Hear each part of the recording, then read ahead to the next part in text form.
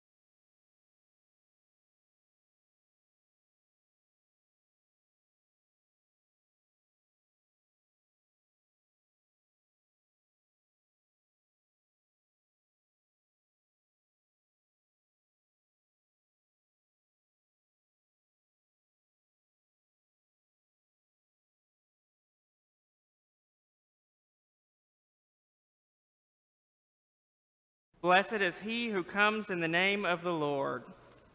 Hosanna in the highest. Today is Palm Sunday. The crowds cheered and shouted, Hosanna in the highest. Blessed is he who comes in the name of the Lord. They waved palm branches and spread their garments out on the road as Jesus entered Jerusalem. The whole city joined in to give Jesus a hero's welcome, a ticker tape parade, a royal reception, a city-wide party. But the cheers were shallow and the celebration was short lived. For in the background, the chief priests, the scribes and Pharisees, Sadducees, and Herodians were green with envy and red with anger. They set their traps with tricky words and bought their spy with thirty coins and prepared to kill the Son of God. Today is Palm Sunday, a day of paradox. Today, the king rode into the capital on a lowly colt. Today, he cried at this royal reception. Today, the cheers briefly held back the drumbeats of doom. Today, only the Christ candle burns throughout the service.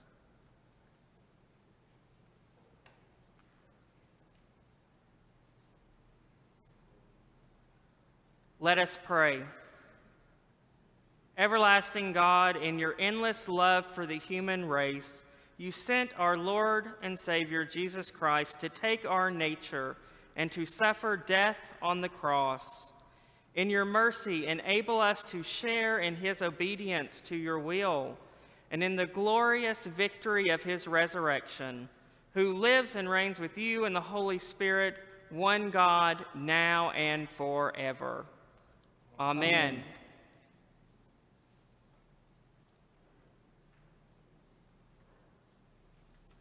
Our first lesson is from Isaiah chapter 50.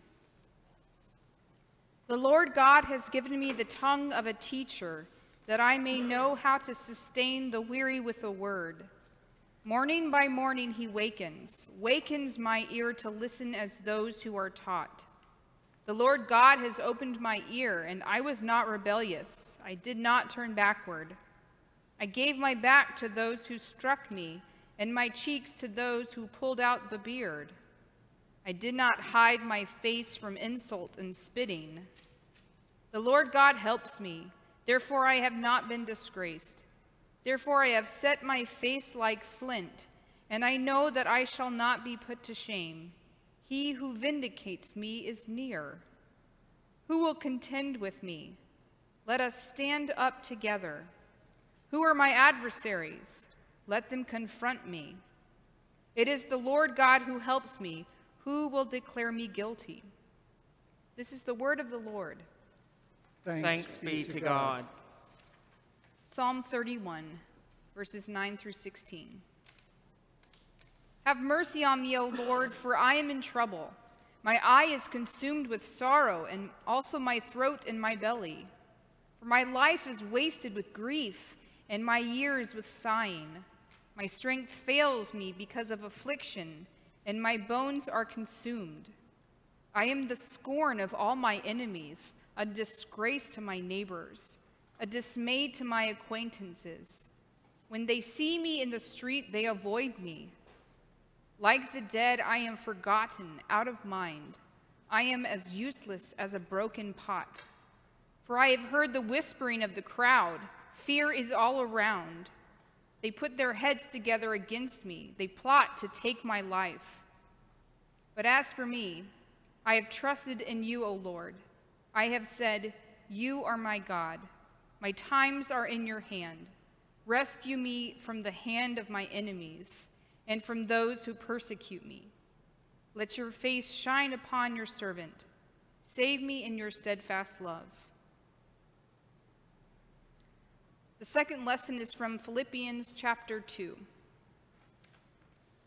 Let the same mind be in you that was in Christ Jesus who, though he was in the form of God, did not regard equality with God as something to be exploited, but emptied himself, taking the form of a slave, being born in human likeness. And being found in human form, he humbled himself and became obedient to the point of death, even death on a cross. Therefore, God also highly exalted him and gave him the name that is above every name, so that at the name of Jesus every knee should bend, in heaven and on earth and under the earth, and every tongue should confess that Jesus Christ is Lord, to the glory of God the Father. This is the word of the Lord. Thanks, be to God.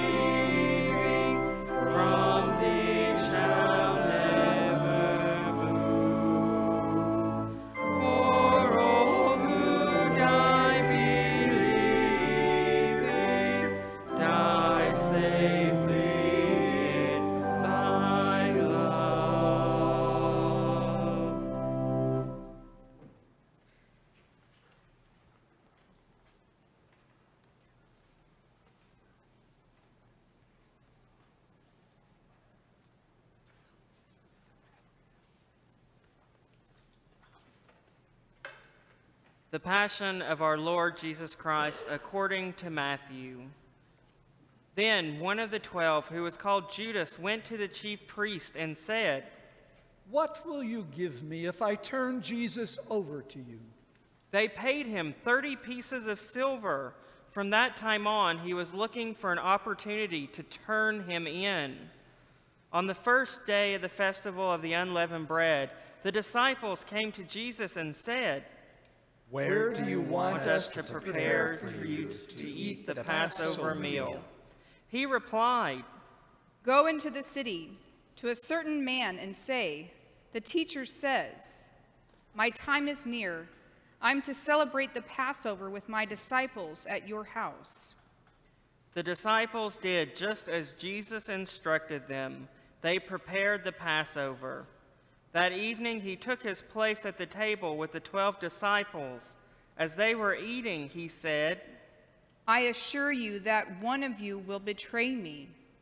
Deeply saddened, each one said to him, I'm not the one, am I, Lord?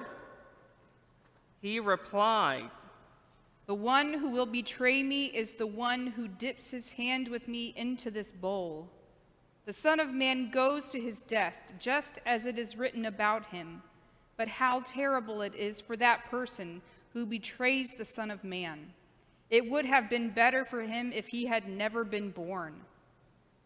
Now Judas, who would betray him, replied, It's not me, is it, Rabbi? Jesus answered, You said it. While they were eating, Jesus took bread, blessed it, broke it, and gave it to his disciples and said, Take and eat. This is my body.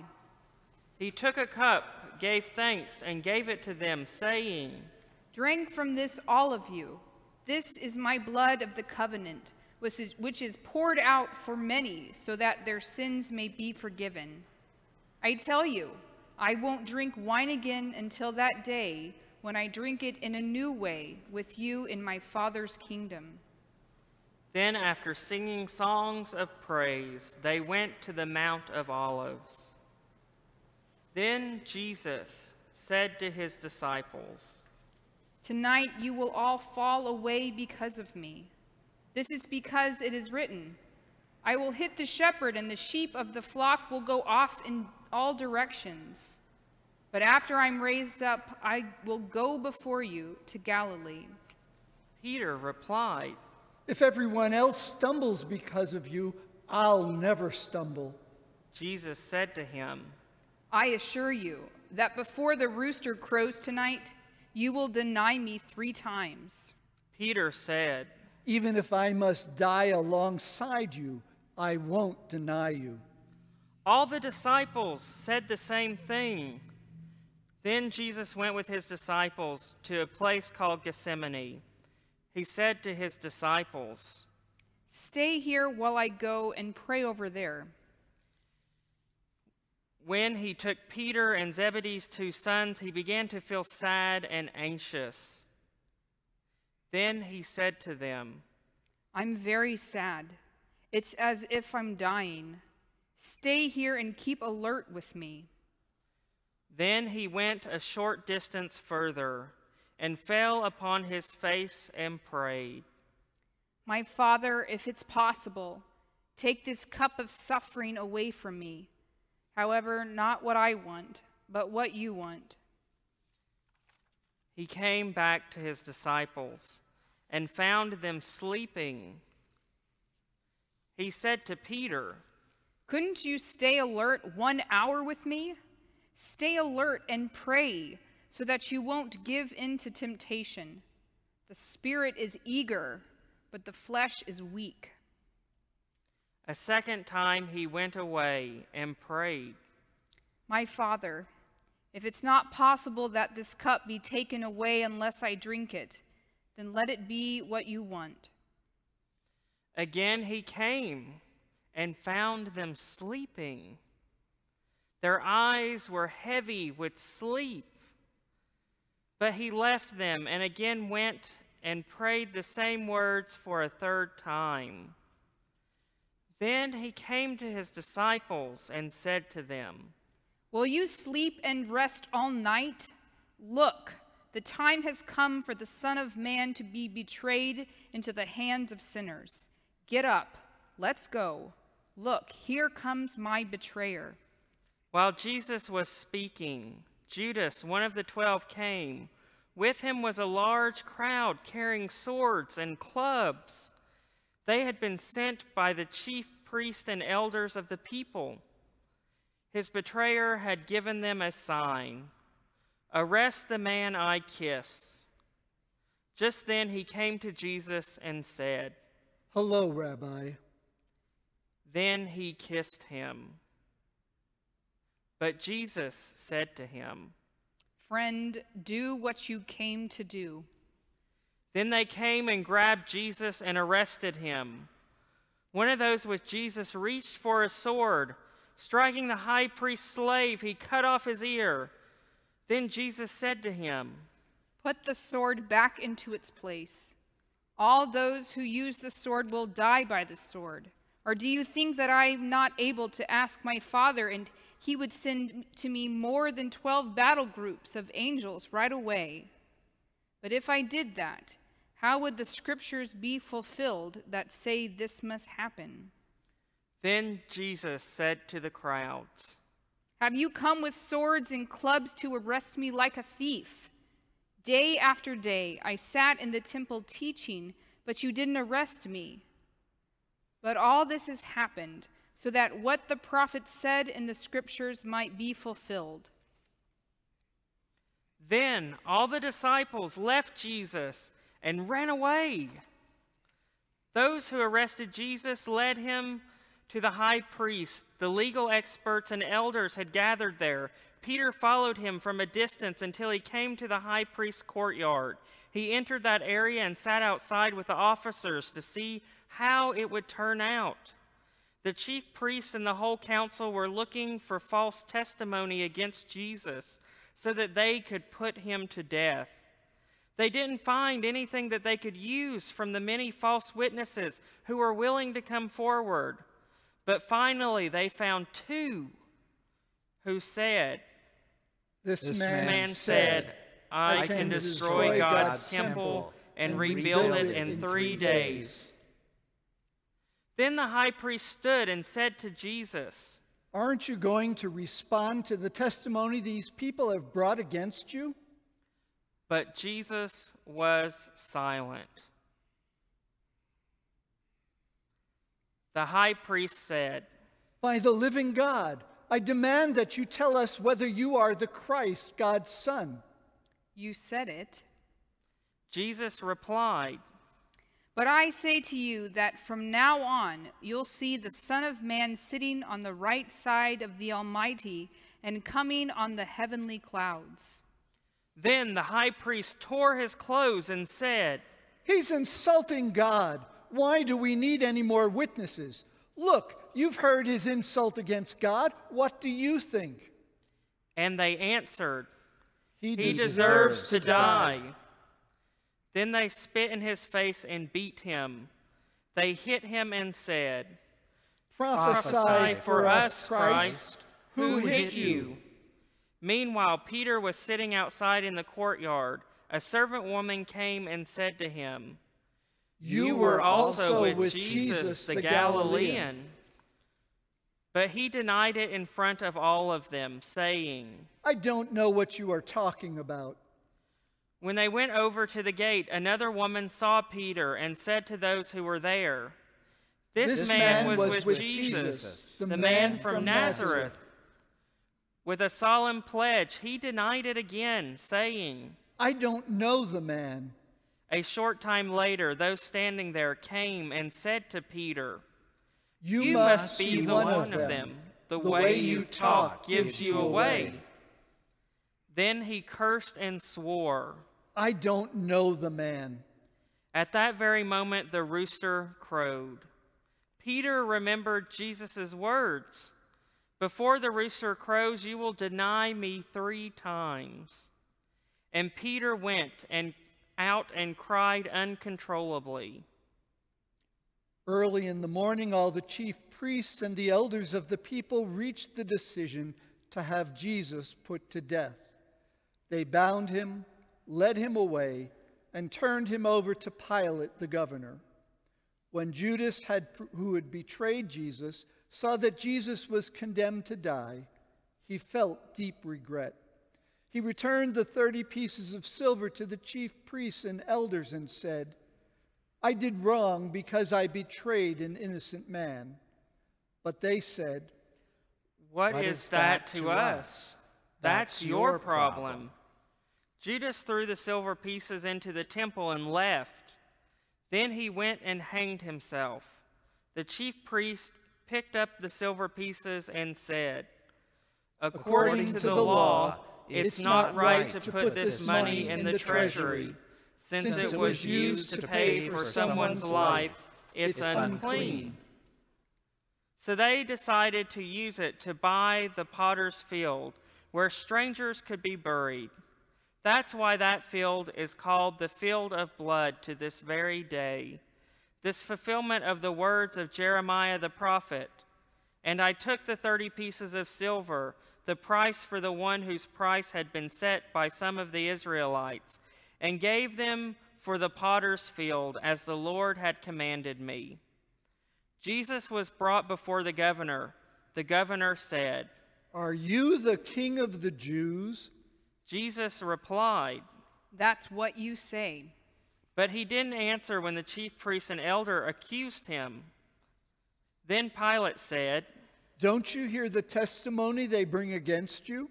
But he didn't answer, not even a single word. So the governor was greatly amused. It was customary during the festival for the governor to release the crowd to the crowd one prisoner, whomever they might choose. At that time, there were well known prisoners like Jesus. When the crowd had come together, Pilate had asked them, Whom would you like me to release to you? Jesus Barabbas or Jesus who is called Christ?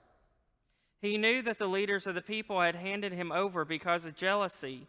While he was serving as judge, his wife sent this message to him Leave that righteous man alone. I've suffered much today in a dream because of him. But the chief priests and elders persuaded the crowd to ask for Barnabas and to kill Jesus. The governor said, Which of the two do you want me to release to you? Barabbas. They replied, Pilate said, then what should I do with Jesus who is called Christ? They all said, Crucify, Crucify him. him. But he said, Why? What wrong has he done? They shouted even louder, Crucify, Crucify him. him. Pilate saw that he was getting nowhere and that a riot was starting. So he took the water and washed his hands in front of the crowd. I'm innocent of this man's blood. He said, it's your problem. All the people replied, Let, Let his, his blood be on us and, and our, our children. children. Then he released Barnabas to them. He had Jesus whipped and handed over him to be crucified. The governor's soldiers took Jesus into the governor's house, and they gathered the whole company of soldiers around him. They stripped him and put a red military coat on him. They twisted together a crown of thorns and put it on his head. They put a stick in his right hand. Then they bowed down in front of him and mocked him, saying, Hey, King, King of, of, the Jews. Jews. After they spit on him, they took the stick and stuck his head again and again. When they had finished mocking him, they stripped him of the military coat and put on his own clothes back. They led him away to crucify him. As they were going out, they found Simon, a man from Cyrene. They forced him to carry his cross. When they came to a place called Golgotha, which means the skull place, they gave Jesus wine mixed with vinegar to drink. But after tasting it, he didn't want to drink it. After they crucified him, they divided up his clothes among them by drawing lots. They sat there, guarding him. They placed above his head the charge against him. It read, This is Jesus the King of the Jews. They crucified him with two outlaws, one on his right side and one on his left. Those who were walking by insulted Jesus, shaking their heads and saying, So you were going to destroy the temple and rebuild it in three days, were you? Save yourself. If you are God's Son, come down from the cross. In the same way, the chief priests, along with the legal experts and the elders, were making fun of him, saying, He, he saved others, but, but he can't save himself. He's, He's the King of Israel, so let him come down from the cross now. Then we'll believe in him. He trusts in God, so let God deliver him now if he wants to. He said, I'm God's son. The outlaws who were crucified with him insulted him in the same way. From noon until three in the afternoon, the whole earth was dark. At about three, Jesus cried with a loud shout, Eli, Eli, lama sabachthani, which means, My God, my God, why have you left me? After hearing him, some standing there said, He's, He's calling, calling Elijah. Elijah. One of them ran over, took a sponge full of vinegar, and put it on a pole. He offered it to Jesus to drink. But the rest of them said, Let's, Let's see, if Elijah, Elijah will come and save him. him. Again, Jesus cried out with a loud shout. Then he died. Look, the curtain of the sanctuary was torn in two from top to bottom. The earth shook, the rocks split, and the bodies of many holy people who had died were raised. After Jesus' resurrection, they came out of their graves and went into the holy city where they appeared to many. When the centurions and with those with, who were with him were guarding Jesus saw the earthquake and what had just happened, they were filled with awe and said, This, this was, was, certainly God's Son. Many women were watching from a distance. They had followed Jesus from Galilee to serve him. Among them were Mary Magdalene, Mary the mother of James, and Joseph, and the mother of Zebedee's son. The evening a man came, Joseph. He was a rich man from Arimathea who had become a disciple of Jesus. He came to Pilate and asked for Jesus' body. Pilate gave him permission to take it. Joseph took the body, wrapped it in a clean linen cloth, and laid it in his own new tomb, which he had carved out of the rock. After he rolled a large stone over the door of the tomb, he went away. Mary Magdalene and the other Mary were there, sitting in front of the tomb. The next day, which was the day after the preparation day, the chief priests and the Pharisees gathered before Pilate, and they said, Sir, Sir we, remember, that while that the deceiver was still alive, he said, After three days I will arise. Therefore, order the grave to be sealed until the third day Otherwise, his disciples may come and steal the body and tell people he has been risen from the dead. This last deception will be worse than the first. Pilate replied, You have soldiers for guard duty. Go and make it as secure as you know how. Then they went and secured the tomb by sealing the stone and posting the guards. The Gospel of the Lord. Praise, Praise to you, O Christ.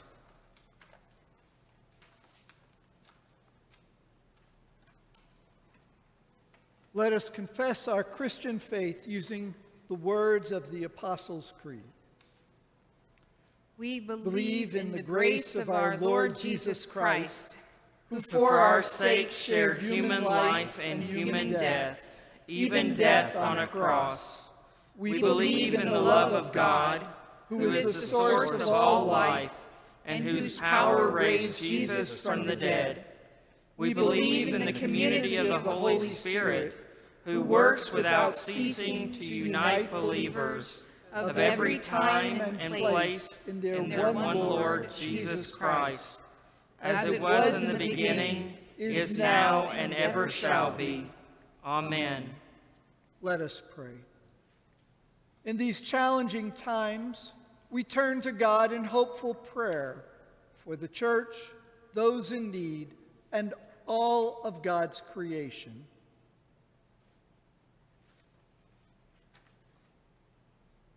Let us pray for those on the front line of this pandemic, for all hospitals, doctors, nurses, and all healthcare workers that are working for healing in our communities. We particularly pray for those in our city, in Stormont Vail, and KU medical systems. Lord, in these times, Give us hope. let us pray for those who are isolated and lonely at home, those who are elderly and miss the visits of family and friends, those who live alone and want the company of their normal daily lives, those who are in need of social services yet see a world of closed doors around them. Lord, in these times, Give, Give us us hope. hope. let us pray for those in leadership across our city, state, country, and world. Give wise decision making and proper counsel to our elected leaders in confronting this crisis. Let resources stay abundant for charities in our community, that their leaders may be able to continue to assist those most in need. Lord, in these times, Give us hope. let us pray for those who will be experiencing economic distress, especially those who have lost their employment. We remember all those who feed us, clothe us, and give us joy in fellowship and entertainment. Lord, in these times, Give us hope. let us pray for the children in our community. Give assurance to our little ones that they will one day play with their friends on the playground again, that their teachers will continue to guide them in learning about the world around them, that their parents may, give, may have the imagination and creativity to make this moment a time of increased bonding with their loved ones. Lord, in these times, Give, Give us, us hope.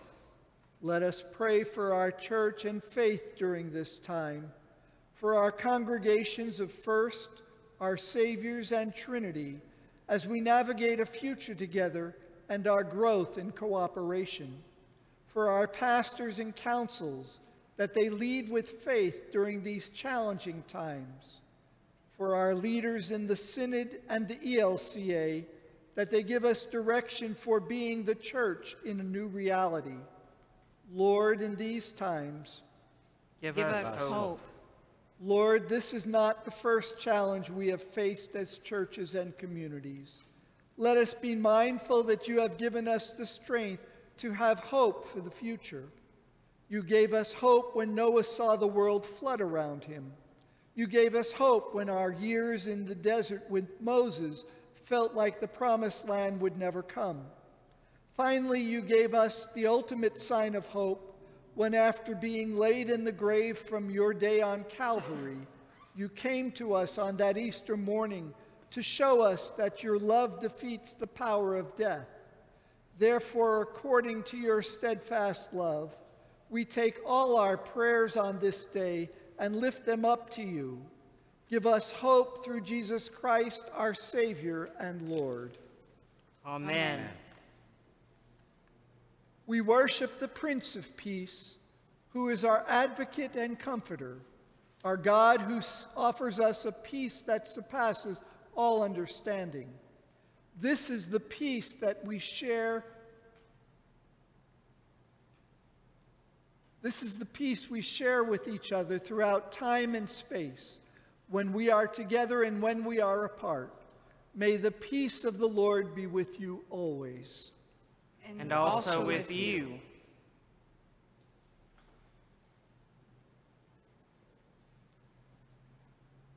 In God, we have been richly blessed, and so it is a spiritual practice to share what we have been given. We ask you to consider giving to your church. The stores may have closed, and the world may feel like it has stopped, but the work of the Lord continues each day. Thank you for your support in this ministry with your offering. Merciful God, Receive the sacrifice of our praise and thanksgiving, and the offering of our lives, that following in the way of the cross, we may know the joy of the resurrection, through Christ our Lord. Amen. With hope in our hearts, let us pray together the prayer our Savior gave us. Our Father, who art in heaven, hallowed be thy name. Thy kingdom come, thy will be done, on earth as it is in heaven. Give us this day our daily bread, and forgive us our trespasses, as we forgive those who trespass against us. And lead us not into temptation, but deliver us from evil. For thine is the kingdom, and the power, and the glory, forever and ever. Amen.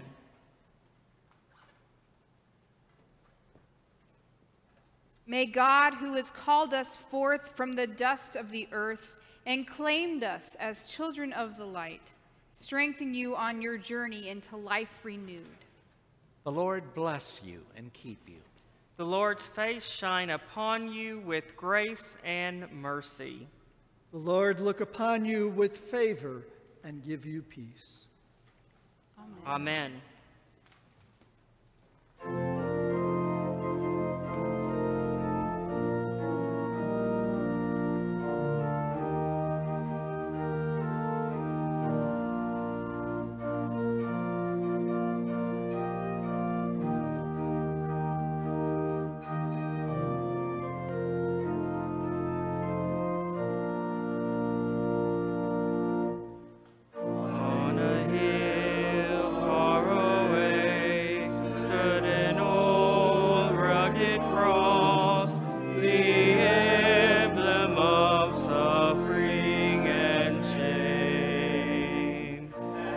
I love